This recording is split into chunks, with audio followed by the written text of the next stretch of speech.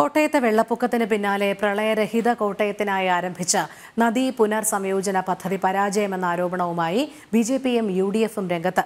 സംഭവത്തിൽ വിജിലൻസ് അന്വേഷണം ആവശ്യപ്പെട്ടു. പദ്ധതി വിജയം തന്നെയാണെന്നും ആരോപണം കയ്യേറ്റക്കാർക്ക് വേണ്ടിയാണെന്നും സി വിശദീകരണം.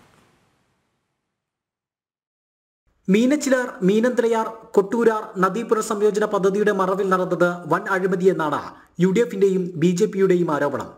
പ്രളയം ഒഴിവാക്കാനായി നദികളിൽ നിന്നും മണൽ വാരി ആഴം കൂട്ടാൻ എന്ന പേരിൽ നടത്തിയ പദ്ധതി തട്ടിപ്പാണെന്ന് ഇത്തവണത്തെ വെള്ളപ്പൊക്കം തെളിയിച്ചുവെന്ന് ഇരുവരും ആരോപിക്കുന്നു. രണ്ടു ദിവസത്തെ മഴ കൊണ്ട് മാത്രം കോട്ടയം പട്ടണത്തിന്റെ സമീപ പ്രദേശങ്ങൾ വെള്ളത്തിലായി. പദ്ധതിക്ക് പിന്നിൽ വലിയ സാമ്പത്തിക തട്ടിപ്പ് നടന്നുവെന്നാണ് ബി ജെ പിയുടെ ആക്ഷേപം. സി പി എമ്മിന്റെ സംസ്ഥാന കമ്മിറ്റി അംഗം ശ്രീ കെ അനിൽകുമാറിന്റെ നേതൃത്വത്തിൽ ഇവിടുത്തെ തോടുകളെ വൃത്തിയാക്കുന്നതിനും മീനച്ചിലാർ മീനന്തളിയാർ കൊടുവിലാർ പദ്ധതിയിലൂടെ ഈ കോട്ടയത്തെ പ്രളയമില്ലാത്ത അല്ലെങ്കിൽ വെള്ളം കയറാത്ത മേഖലയാക്കി മാറ്റുമെന്ന് പറഞ്ഞുകൊണ്ട് നടത്തിയ പദ്ധതികളിലാണ് ഇപ്പോൾ ഈ കോട്ടയത്തുകാർ കണ്ടുകൊണ്ടിരിക്കുന്നത് ഇവിടെ ഒറ്റ ദിവസം കൊണ്ട് തന്നെ വെള്ളം കയറിയ ഒരു സാഹചര്യമാക്കി മാറ്റിയിരിക്കുകയാണ്.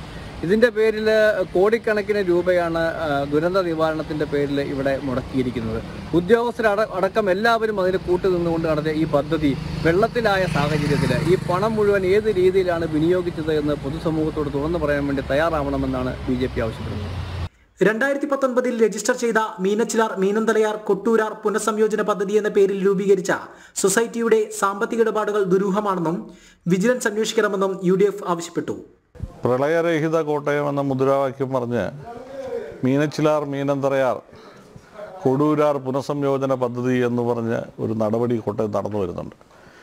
ഇതിന്റെ ഇടപാടുകൾ പരിശോധിക്കണം എന്നാവശ്യപ്പെട്ടുകൊണ്ട് വിജിലൻസിൽ പരാതി കൊടുക്കുക അത് ഒഴുക്കാനുള്ള സാഹചര്യം എന്ന് പറയുന്നത് ഞാൻ ഈ പദ്ധതിയുമായി ബന്ധപ്പെട്ട രജിസ്ട്രേഷൻ പരിശോധിച്ചു.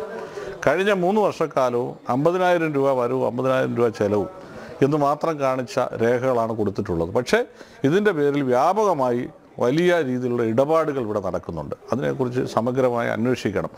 എന്നാൽ വിജിലൻസ് അന്വേഷണം ആവശ്യപ്പെടാൻ സർക്കാരിൽ നിന്ന് സാമ്പത്തിക സഹായങ്ങൾ പദ്ധതിക്കായി കൈപ്പറ്റിയിട്ടില്ലെന്ന് സി പി എം നേതാവും നദീ പുനർസംയോജന പദ്ധതി കോർഡിനേറ്ററുമായ അഡ്വക്കേറ്റ് കെ അനിൽകുമാർ പറഞ്ഞു. ആരോപണങ്ങൾ കയ്യേറ്റക്കാർക്ക് വേണ്ടിയാണെന്നാണ് മറുപടി. ജനം കോട്ടയം.